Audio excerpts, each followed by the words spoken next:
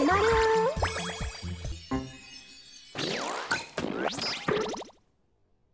うひ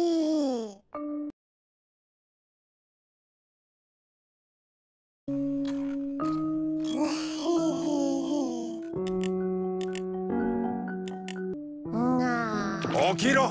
うん。もう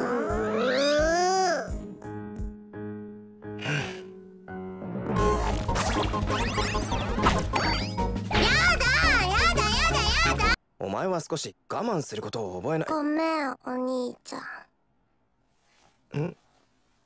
今いいところだからちょっと静かにして。っていうかどうせコンビニ行くんならポテトの一つでも買ってきてよ。パソコンばっかりしてないで夕飯食べろって。あー走れトイレ。お兄ちゃんお疲れ作って。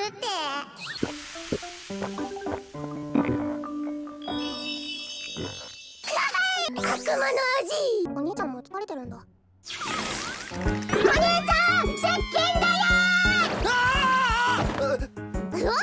お兄ちゃん。こいつは。ハムジローコーラ持ってきて。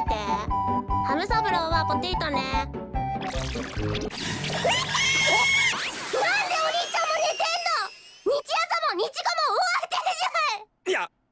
悪いのか？お兄ちゃんのバカ虫眼鏡さっさとゲーム買ってよおい